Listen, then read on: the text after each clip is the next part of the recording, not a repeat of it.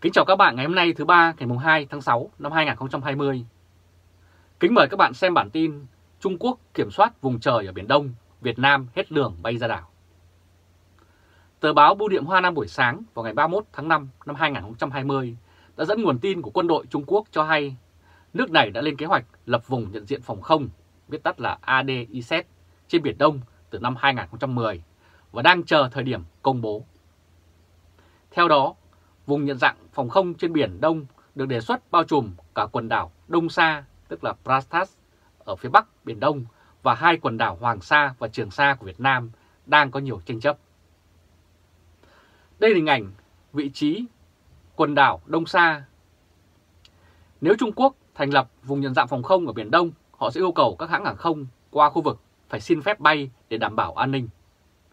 Và nhiều khả năng Trung Quốc sẽ lấy đây làm cái cớ trong đàm phán để nói rằng đã có nước phải xin phép họ, tức là thừa nhận yêu sách chủ quyền của họ. Thạc sĩ luật Hoàng Việt, một chuyên gia về Biển Đông, đã nhận định với Đài tiếng nói Hoa Kỳ rằng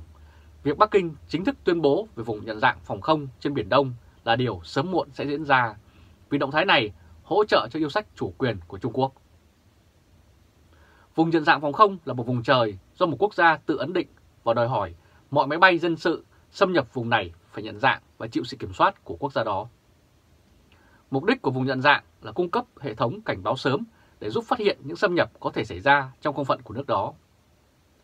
Các máy bay đi qua vùng này của một quốc gia phải tuân thủ các yêu cầu chung như nộp trước lộ trình bay, thiết lập các liên lạc hai chiều với nước quản lý, thông báo vị trí, tuân thủ hành lang bay mà nước đó quy định. Nếu không tuân thủ, thì máy bay quân sự của nước lập vùng nhận dạng phòng không có thể can thiệp. Yêu cầu nhận dạng hoặc bồi thường và yêu cầu phải rời khỏi khu vực. Vì vùng nhận dạng phòng không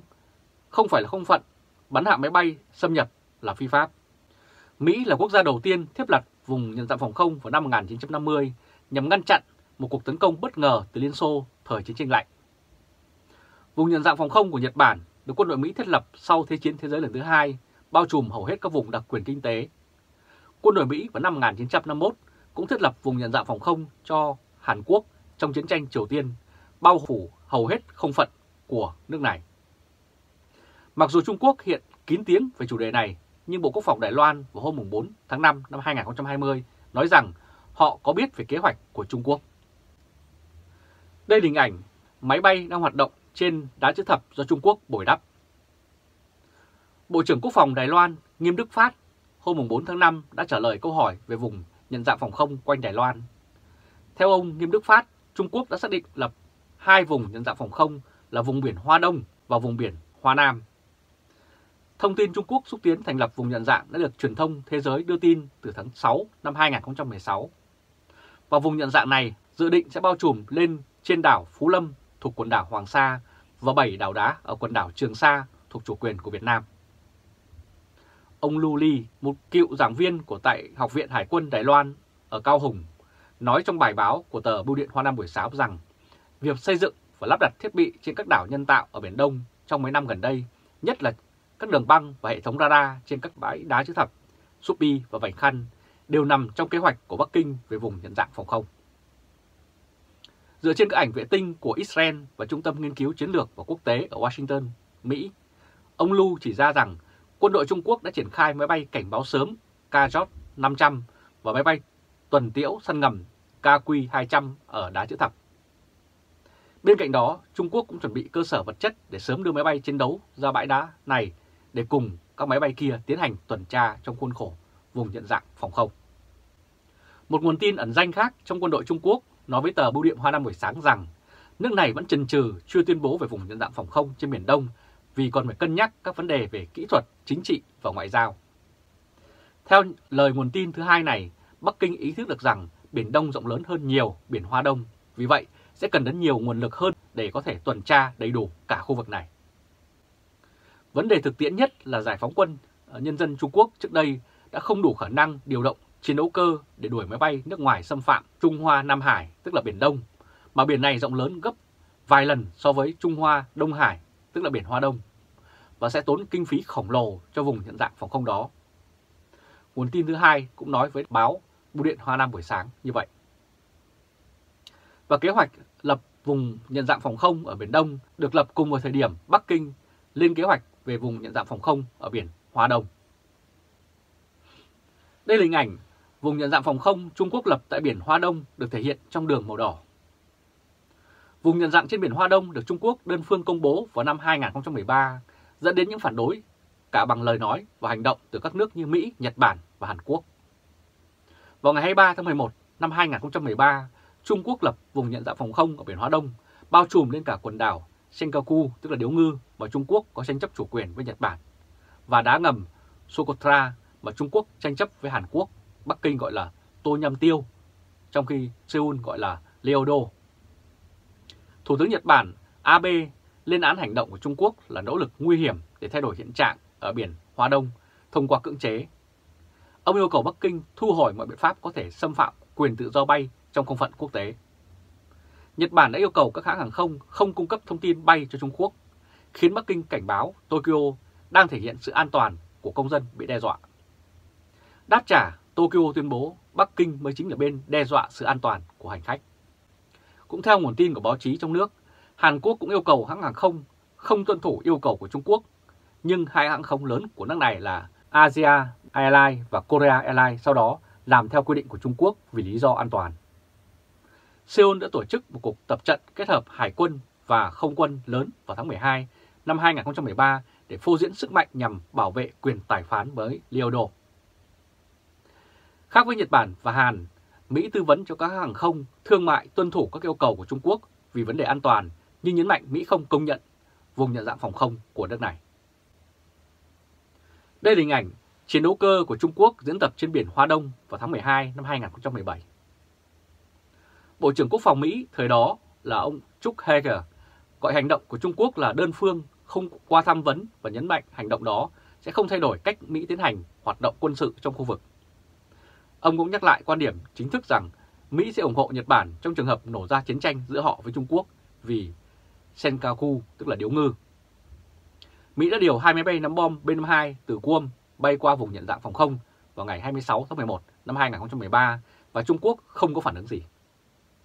Trong khi đó, 3 ngày sau, hai máy bay do thám của Mỹ và 10 chiến đấu cơ F-15 của Nhật Bản đã bị các tiêm kích của Trung Quốc là Su-30 và Jot-10 bám đuôi sau khi đi vào vùng nhận dạng phòng không.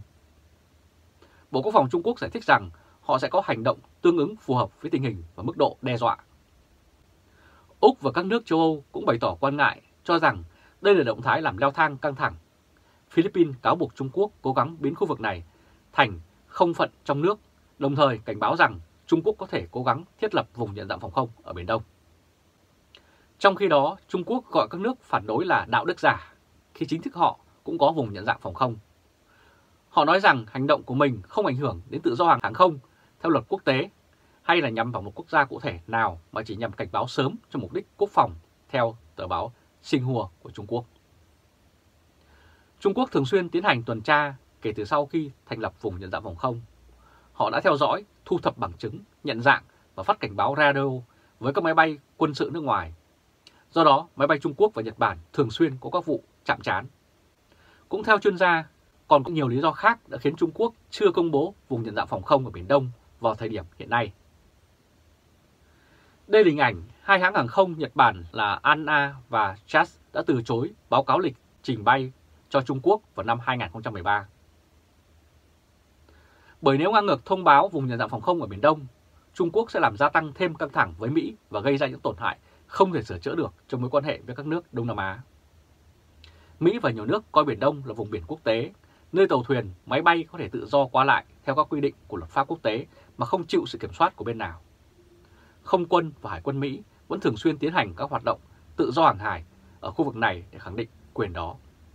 Và việc lập vùng nhận dạng phòng không ở Biển Đông có thể sẽ chọc giận Washington trong bối cảnh nước này không ngừng chỉ trích Trung Quốc leo thang Biển Đông thời gian vừa qua, đồng thời cũng khiến cho các quốc gia khác ngoài khu vực lo ngại và hành động gian đe.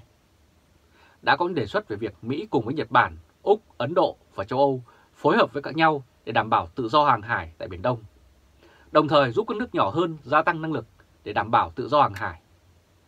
Hành động đơn phương lập vùng nhận dạng phòng không của Trung Quốc sẽ khiến đề xuất này được xúc tiến mạnh hơn và nhanh hơn. Hệ quả là vùng nhận dạng phòng không bị xem là bất hợp pháp, không được nước khác tuân thủ. trở thành minh chứng hiệu quả cho yêu sách phi pháp của Trung Quốc ở khu vực. Đó là chưa kể quá trình rời khỏi Trung Quốc của các doanh nghiệp nước ngoài sẽ được thúc đẩy mạnh hơn, càng khiến nền kinh tế Trung Quốc bị cô lập, lâm vào quá trình suy thoái. Và khối ASEAN chắc chắn sẽ không ngồi yên trước việc Bắc Kinh lập vùng nhận dạng phòng không ở Biển Đông, bởi nó liên quan đến lợi ích trực tiếp của các quốc gia này. Các nước ASEAN sẽ đưa Biển Đông lên bàn nghị sự với các ý định gia tăng hợp tác, tạo điều kiện cho phương Tây và các nước thứ ba hiện diện mạnh hơn ở khu vực. Khi đó, phản ứng từ ASEAN không đơn thuần là phản ứng phản đối ngoại giao mà còn để lại các hậu quả rõ ràng như từng nước hoặc tất cả các nước có yêu sách khởi kiện Trung Quốc, ASEAN đẩy mạnh hợp tác kinh tế với phương Tây gây sức ép với Trung Quốc, ASEAN tập trận chung,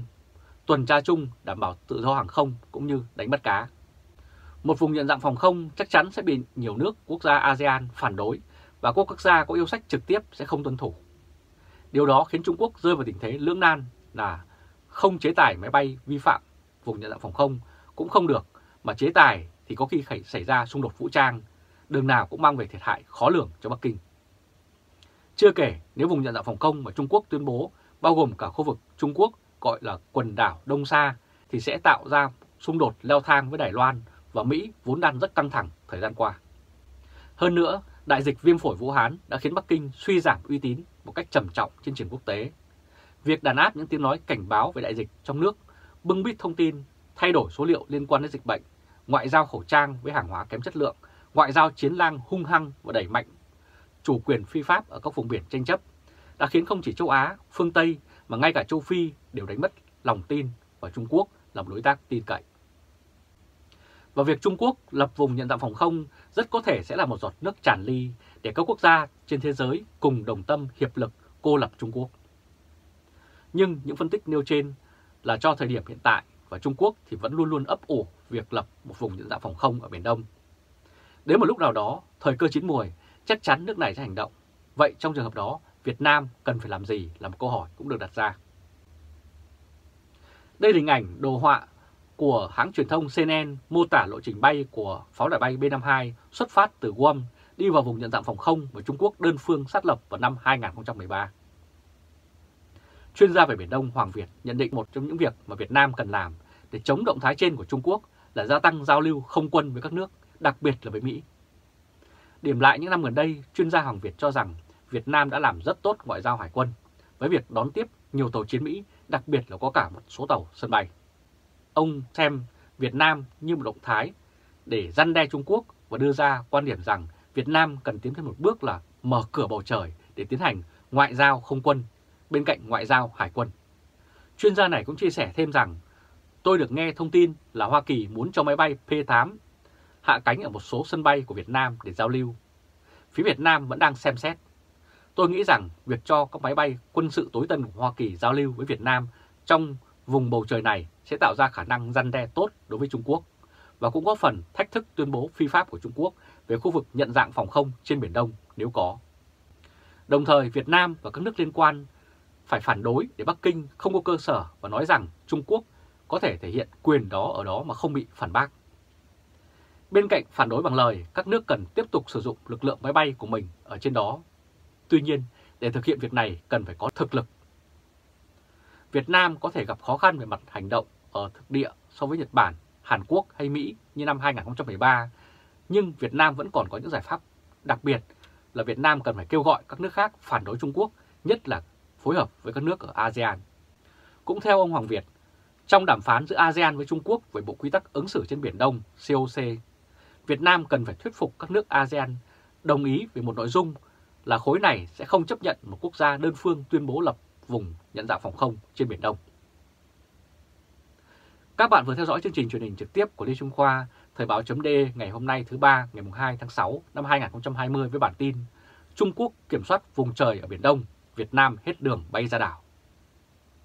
Các bạn hãy chia sẻ video này cho nhiều người biết và bấm nút theo dõi YouTube và Facebook của Thời Báo .d để luôn nhận được những bản tin mới nhất, nhanh nhất và trung thực nhất. Từ Berlin, Cộng hòa Liên bang Đức, chào các bạn và hẹn gặp lại các bạn vào bản tin lần tới. Trung Khoa Thời báo.de